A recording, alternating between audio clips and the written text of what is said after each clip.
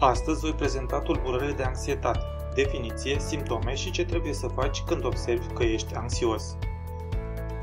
Nu uita să te abonezi și să activezi clopoțelul de notificare, astfel vei fi notificat de fiecare dată când voi publica materiale care te-ar putea interesa. Te salut cu bucurie! Eu sunt Cosmin Mușuroi, psihoterapeut din pasiune pentru oameni, membru al Colegiului Psihologilor din România și Federației Române de Psihoterapie. Ce este anxietate?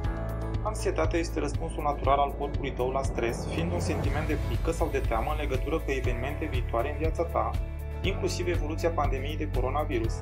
Prima zi de școală, participarea în cadrul unui interviu de angajare sau situații în care trebuie să ții o prezentare în public. Toate acestea pot determina majoritatea oamenilor să se simtă temători și stresați. Dar dacă senzația de anxietate este extremă, durează mai mult de 6 luni și interferează cu viața de zi cu zi, poți experimenta o tulburare de anxietate. Ce sunt tulburările de anxietate? Este normal să te simți stresat la ideea unei deplasări într-un loc nou, începerea unui nou loc de muncă, participarea la un examen sau o pandemie fără tratament. Acest tip de anxietate este neplăcut, dar te poate motiva să lucrezi mai mult, să ai un rezultat mai bun și să cauți un tratament pentru pandemia de coronavirus, tratament care te-ar putea îmbogăți. O anxietate de acest tip este un sentiment obișnuit care nu trebuie să te îngrijoreze, odată ce nu interferează cu viața ta de zi cu zi. În cazul unei tulburări de anxietate, sentimentul de teamă poate fi prezent tot timpul, fiind intens și uneori debilitant.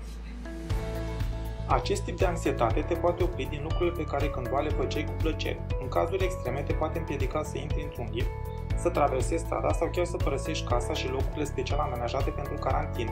Dacă este lăsată de întratat, anxietatea se va înrăutăți.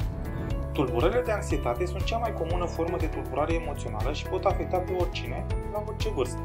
Potrivit Asociației de Psihiatrie, femeile au probabilitatea mai mare de a fi diagnosticate în comparație cu bărbații care nu solicită tratament.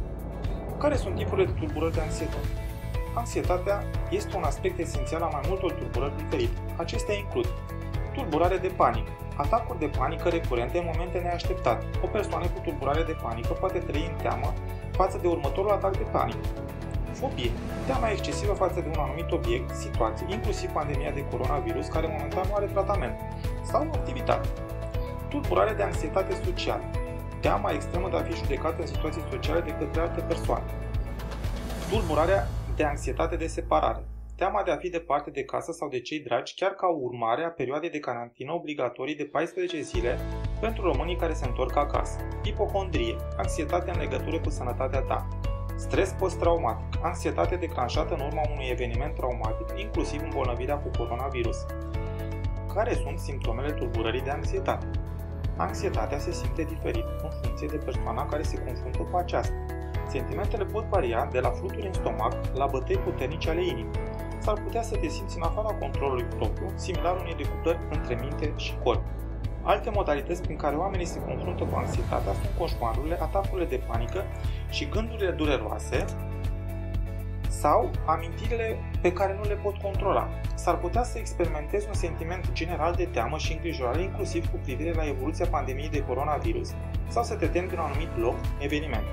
Simptomele anxietății generale includ creșterea frecvenței cardiace, hiperventilație, neliniște, inclusiv cu privire la evoluția pandemiei de coronavirus și recuperarea libertății de mișcare după ridicarea stării de urgență, probleme de concentrare, dificultatea de a adormi. Simptomele tale de anxietate ar putea fi complet diferite de cele ale altei persoane, de aceea este important să cunoști toate căile prin care anxietatea se poate manifesta. Ce este un atac de anxietate? Un atac de anxietate este un sentiment de reținere copleșitoare, îngrijorare, suferință sau frică. Pentru mulți oameni, un atac de anxietate se dezvoltă lent. Se poate agrava odată cu apropierea unui eveniment stresant, inclusiv prelungirea duratei pandemiei de coronavirus. Atacurile de anxietate pot varia foarte mult, iar simptomele sunt diferite în rândul persoanelor. Asta pentru că multe simptome de anxietate nu se manifestă vizibil la alte persoane și se pot schimba în timp. Simptomele comune ale unui atac de anxietate includ senzație de leșin sau amețeli, dificultăți de respirație, gură uscată, transpirație abundentă, trisoane sau bufeuri, reținere și îngrijorare, neliniște, suferință, frică puternică, amorțeală sau funicături, cauză. Cauzele tulburării de anxietate sunt complicate și foarte dificil de identificat. Multe senzații de anxietate pot apărea neașteptat, unele pot duce la o tulburare de anxietate, unele nu. Cauzele posibile includ factori de stres ai mediului, cum ar fi dificultățile la locul de muncă, probleme legate de relații sau probleme în familie, pandemia de coronavirus. Genetica, deoarece persoanele care au membri de familie cu tulburare de anxietate au mai multe șanse să dezvolte o astfel de tulburare. Factori medicali, cum ar fi simptomele unei boli diferite, efectele unui medicament, stresul unei intervenții chirurgicale intense sau ideea unei recuperări prelungite, inclusiv după diagnosticarea cu coronavirus. Chimia creierului, deoarece psihologii definesc numeroase tulburări de anxietate sub forma unui dezechilibre ale hormonilor și semnale electrice din creier. Întreruperea unui consum de substanțe ilicite ale căror efect ar putea intensifica impactul altor posibile cauze. Nu uita să te abonezi și să activezi clopoțelul de notificare astfel vei fi notificat de fiecare dată când voi publica materiale care te-ar putea interesa. Îți mulțumesc că ai urmărit cu atenție acest video. Eu sunt Cosmin Mușuroi și în continuare te invit să urmărești următorul video în care ți-am pregătit câteva direcții de acțiune pe care le poți aplica în viața ta chiar acum pentru a-ți ameliora starea de sănătate până vei ajunge să discuți cu un specialist.